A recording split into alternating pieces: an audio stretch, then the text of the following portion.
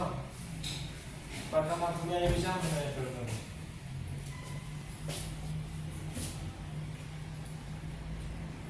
Öyle. Satışlar hızlı. Özgün abi. Evet.